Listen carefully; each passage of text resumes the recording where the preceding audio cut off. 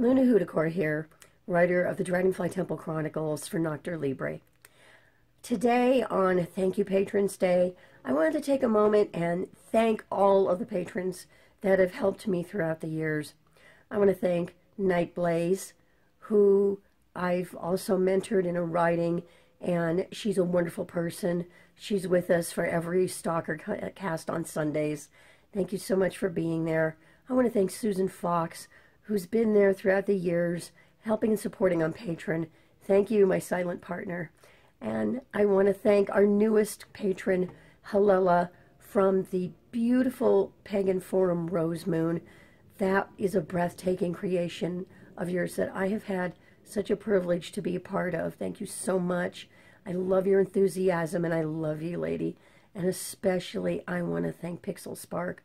Without your writing, without your encouragement, your amazing artwork that you did for the King of Sombra Chronicles, I never would have gotten this far. Thank you on this day and every day to all our patrons out there. Over the years, patrons have contributed over $1 billion to Patreon for all the creators out there.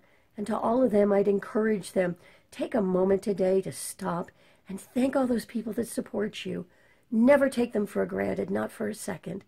We can't do what we do without all of you out there. Thank you so much, and blessed be.